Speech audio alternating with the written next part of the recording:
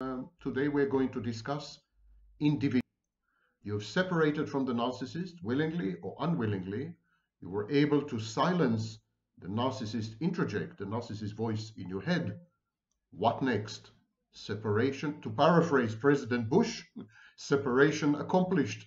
Now onward, soldiers, Christian and Jewish, onward to individuation, which is the topic of today's video. My name is Sam Vaknin. I'm the author of Malignant Self-Love, Narcissism Revisited, and a former visiting professor of psychology. Before I start though, I would like to make a public appeal uh, on behalf of, of this guy. The, the Russians just arrested a journalist, Evan Gershkovich, um, this journalist is a, is a, Wall Street journalist, but he has written to for the New York Times and, and, many other many other cases. He was arrested, I think, last night or or this morning. Um, the the article is is dated today, March 30th, so I'm not quite sure when he was arrested. I would like to appeal to you on his behalf. Do whatever you can. Write to the Russian embassy in your country, protest, and so on and so forth. I happen I happen to have come across this guy. I used to be the editor-in-chief of one of the biggest websites for geopolitics, Global Politician. I was the editor-in-chief of Global Politician, and I was also a member of the Analyst Network. And so on these two uh, internet domiciles, I came across his amazing, amazing investigative work and very courageous in Russia and then much later in Ukraine there is no doubt in my mind that he has been framed, and I would ask you to do whatever you can. The small, small, every small bit helps. Ivan Gershkovich, arrested in Russia last night or, or this morning, I'm, I'm not quite sure. This is the BBC um, article, but you can find news articles on CNN and everywhere else. Okay, from Russia to individuation.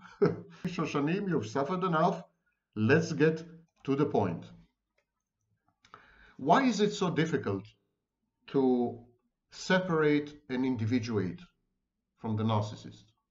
Before we proceed, you should watch the video titled, um, the video which deals with the narcissist serpent voice. Because, and you should also watch the interview that I've given regarding the four steps you should take before you attend therapy for narcissistic abuse. Because if you don't do these things, if you don't separate from the narcissist, if you don't silence the narcissist voice inside your head, nothing will help you, no therapy. The narcissist is firmly lodged in your mind. The narcissist talks to you, negates you, puts you down, destroys you from the inside like some toxic miasma. So you need to get, get a hold of this process and then you need to reverse it. Otherwise, no amount of commiserating with other victims, venting, or attending therapy would help you. Why is that? Why is the narcissist a special subspecies of abuser? Why doesn't this happen with other types of abusers? And it doesn't. Well, because the narcissist is a duality. It's like the wave particle in quantum mechanics. Once, um, one, one, at one time, the narcissist is a wave, and at another time, it's a particle, and yet, it, and yet it's the same entity. The narcissist sometimes is your abuser, and at other times, your savior, your rescuer, your best friend ever. At one time, the narcissist reifies your death your mental death. He reifies extinguishing. He reifies your disappearance, assimilation. He consumes you and then digests you. He empties you and hollows you from the inside. He is. He is the Grim Reaper. And at other times, the narcissist is your life force. He energizes you. He eggs you on. He's your greatest fan and supporter. At one time, the narcissist is punitive, hateful, resentful. He's out to destroy you, to devastate you, to ruin you. And at other times, the narcissist is your substitute mother. He loves you unconditionally. He accepts you exactly as you are. He idealizes you and puts you on a pedestal. And it is this duality, also known as negative um, intermittent reinforcement, it is this duality that makes it exceedingly difficult for you to say goodbye externally and internally. You can break up with a narcissist in your real life and he may absent himself having devalued and discarded you, but he is inside your mind. And so it's very difficult.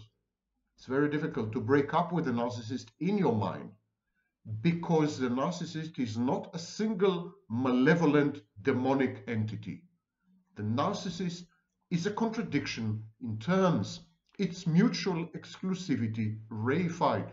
It's all good and all bad in one body and one mind, his mind. You have been subjected to the impossible. Mixed signals ad extremis. Who is the narcissist? Who was the narcissist in your life? Did he hate you? Did he love you? Did he save you from yourself?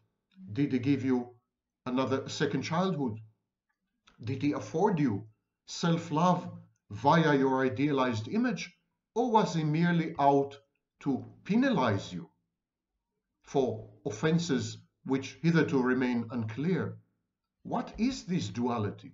And this is why it makes it almost impossible to separate from the narcissist and to silence the voice inside your head that is actually the narcissist introject, the narcissist voice, the narcissist representation in your mind, the narcissist avatar, the internal object that is the narcissist collaborates with the narcissist, this Trojan horse that you cannot expel out of the gates of your fortified mind. This fifth column that is working from the inside to undermine and challenge you, your identity, your beliefs, your values, your hopes, your wishes, your dreams, your preferences, your priorities, everything. Everything is corroded, eroded by the narcissist's voice. And yet, it's extremely difficult to silence it initially because the narcissist's voice is a hybrid. Sometimes it speaks to you in the language of a mother or a father, and sometimes it speaks to you in forked tongues. Sometimes it's devilish, and sometimes it's angelic. It's a morality play unfolding within your mind inexorably, and there's so little you can do about it. And yet, somehow, you're entranced and enthralled by this morality play. Sometimes, somehow, you want to be there to see how it unfolds, to convince yourself that maybe, just maybe, it wasn't all bad. Maybe, just maybe, you had benefited somehow. Cognitive dissonance. You have to somehow prove to yourself that you weren't naive and stupid and gullible, that your mate selection was more or less okay, that the narcissist was a lover, not a hater, a mother, not an abuser, life, not death. And of course, it's all counterfactual. It's all nonsense. So you need to separate from the narcissist physically.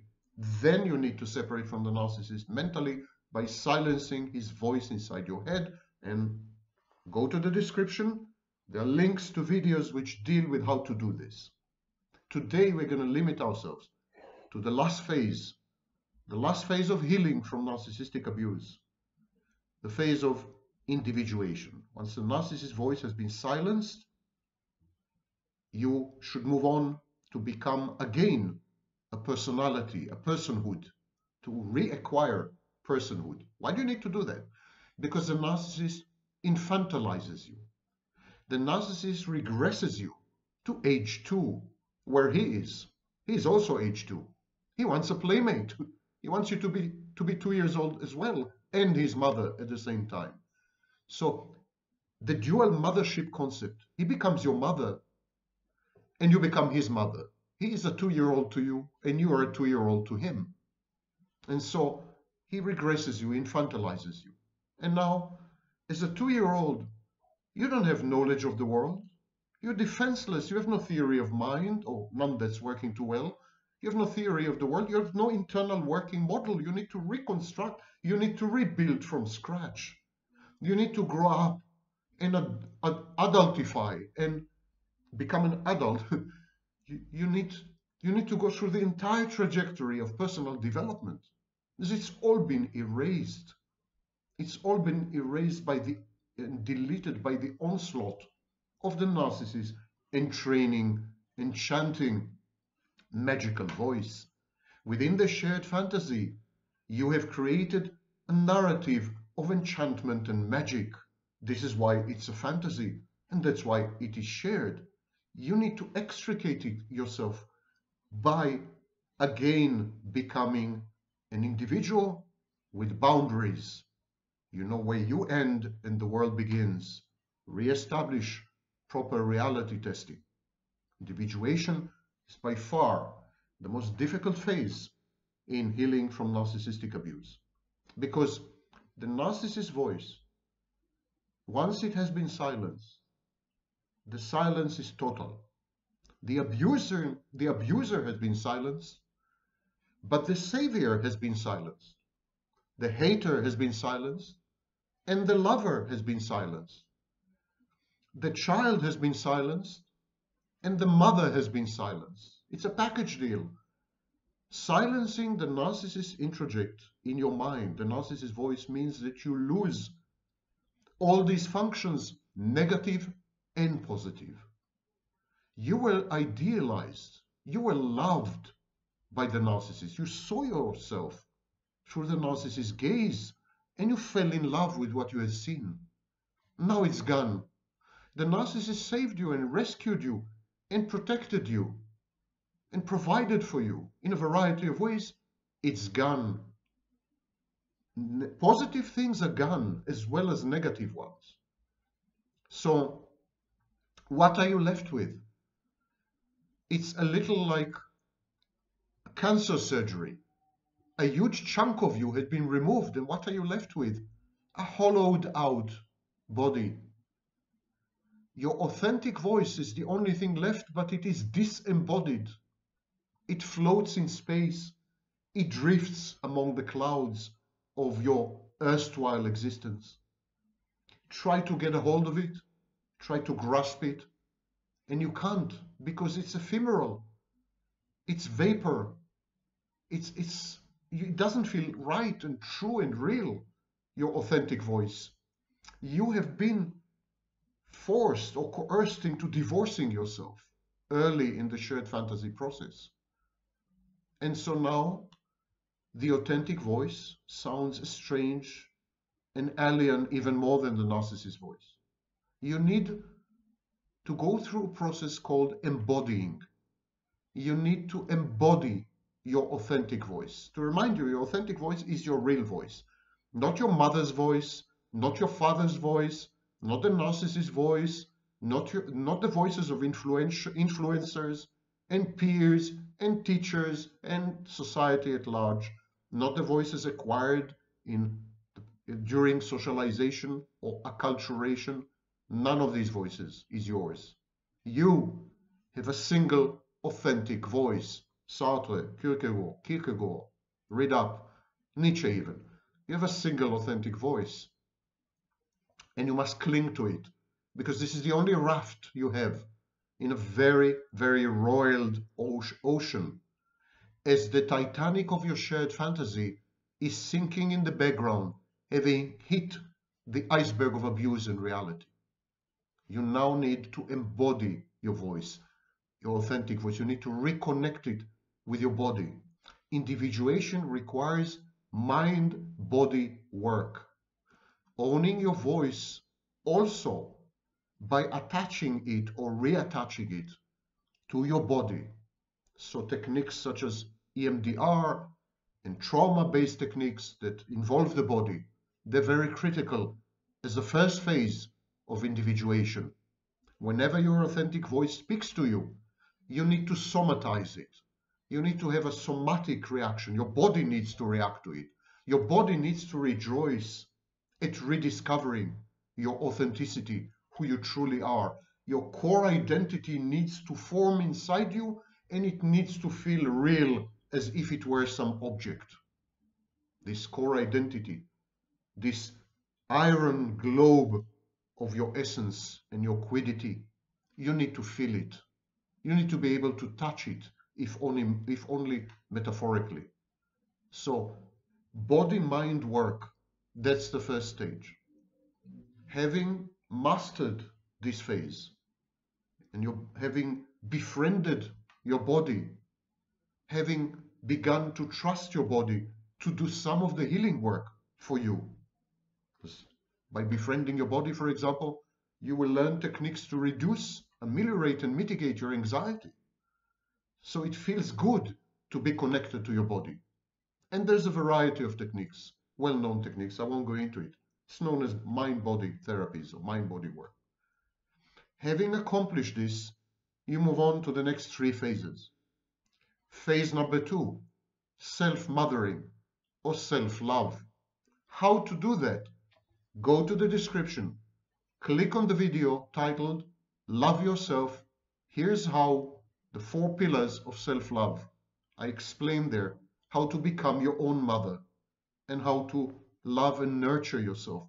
The very functions that were offered to you by the narcissist when you first met, fallaciously, of course. The narcissist's goal was never to truly mother you. The narcissist's goal was to convert you into his mother and then separate from you cruelly and individuate.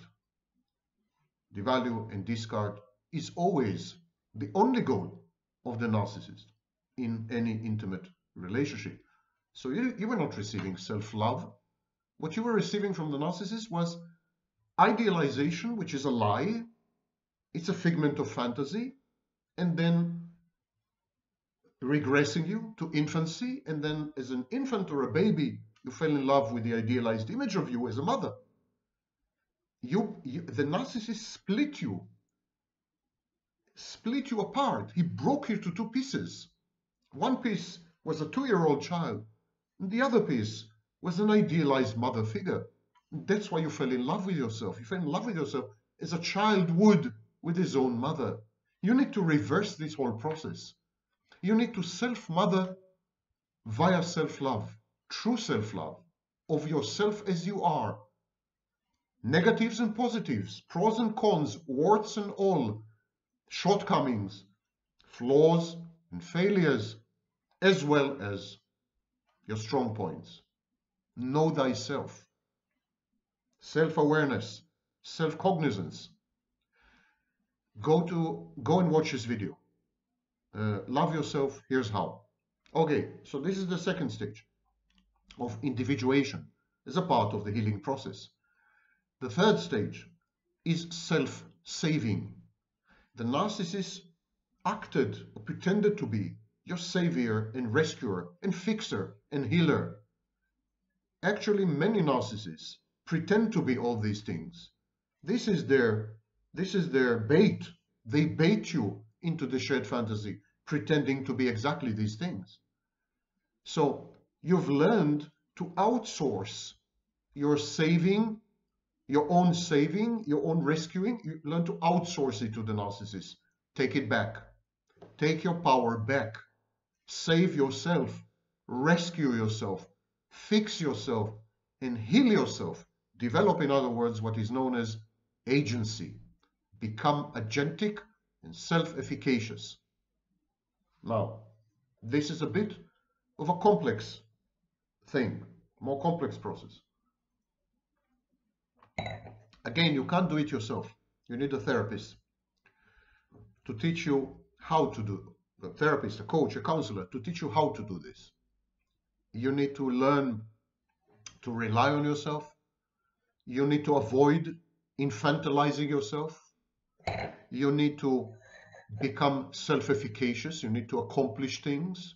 You need to set realistic goals, not grandiose ones, and then having materialized them, feel good about it. You need to self-actualize. You need to create a life plan, life goals, etc., etc. These are all known techniques. No point in rehashing them here. Develop agency, develop autonomy, develop independence, and develop self-efficacy. Define these as your treatment goals with your own therapies. And finally, the last point, the last stage in separating from the narcissist and individuating, aka healing from narcissistic abuse. The last stage is choose life, affirm life. This will negate your depression, your anxiety, your catastrophizing, your automatic negative thoughts. Choose to be rather than to not be. Hamlet. the narcissist wanted you to disappear into him. Narcissist merged and fused with you, in the process making you vanish, rendering you a non-entity, an extension of himself, an internal object. He snapshotted you. Take your life back. And there's again a video here. Take your life back. Watch it. Just take your life back. Listen to your silent voice. Go inside the desert of your mind and make it flower with your essence. Listen to all these videos in the description. There's no point in repeating all this. And then go on, go forward into the individuation process. It's terrifying. This individuation process is about becoming again, is about being reborn. And birth is a form of trauma.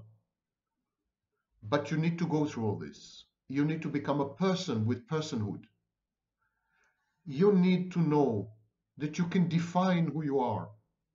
And you need to never allow anyone again to tell you uh, who you are and to hand over your identity to you on a platter. It should all come from the outside. You should never outsource regulation or any other internal function to anyone else. It's too much power to give to other people. I wish you success.